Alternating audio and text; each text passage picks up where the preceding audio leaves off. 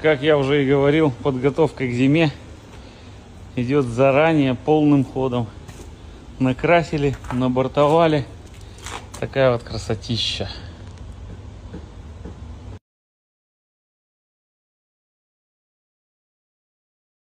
Всем забыл рассказать, у нас школа ремонта. Кач продолжается. Уже пол прицепа разгрузили, осталась мелочь. Ламинат, гипсокартон. Ну, собственно, вот что получилось.